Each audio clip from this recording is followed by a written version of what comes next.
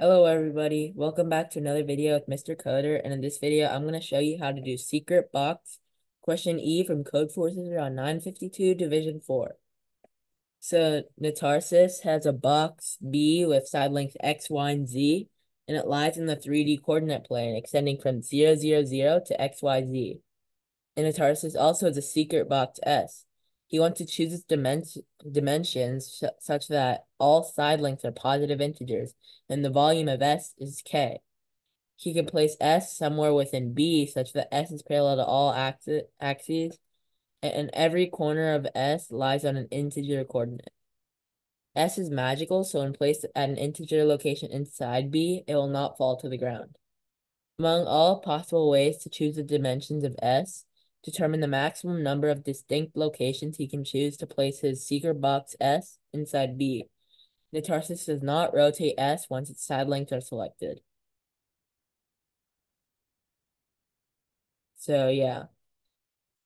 And for for like code, if you're ever coding it, note that k may not fit in a standard 32-bit integer data type because k is less than or equal to x times y times z, which is 2000 times 2 which could be 2,000 times 2,000 times 2,000, which would be 8 times 10 to the ninth. And generally, you can't fit more than 2 times 10 to the ninth or around there for a standard integer. But I define integer as long, long, so I never have to worry about a 32-bit. I can always have a 64-bit. So yeah, if we look at this first example, it'll be uh 3338. So it's so it will just be a cube in this case of three by three by three. And you're looking for a uh,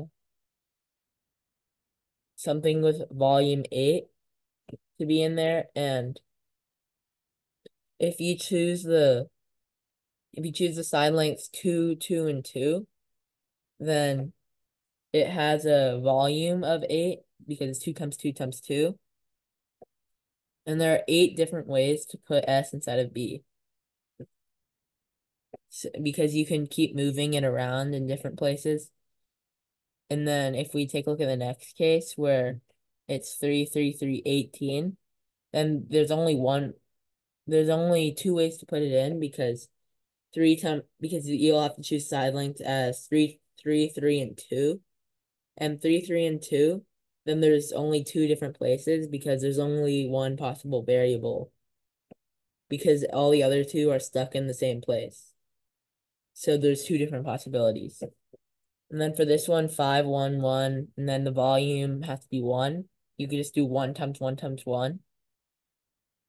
And then, so basically how, how you do this problem is you can actually brute force it in a way. Like you can't, so, but you have to be smart on how you actually, on what you brute force.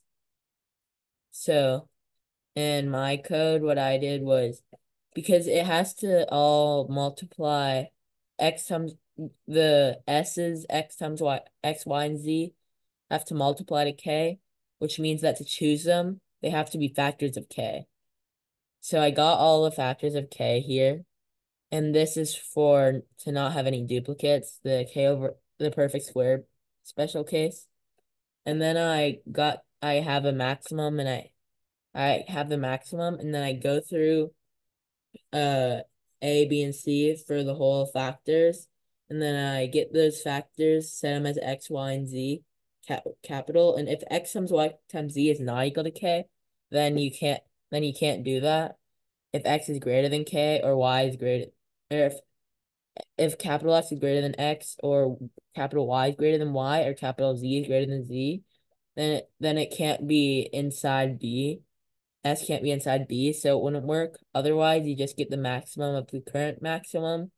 And you do X minus capital X plus 1. So then it would be inclusive for all the possibilities.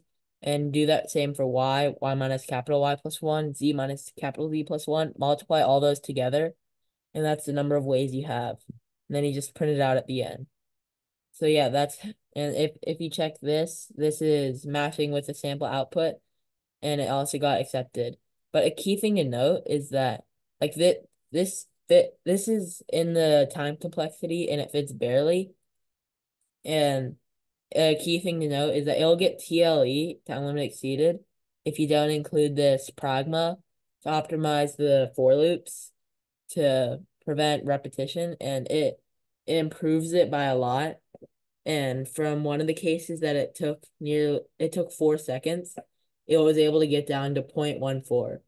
So that that's how much it actually that's how much it actually optimizes it for the one second time limit. Four definitely won't work, but 0.14 would work. So yeah, that's how you solve secret box question E from Codeforces round 952 division 4. So yeah, thank you for watching this video. If you like this video, please like and subscribe and I'll see you in the next one. Bye.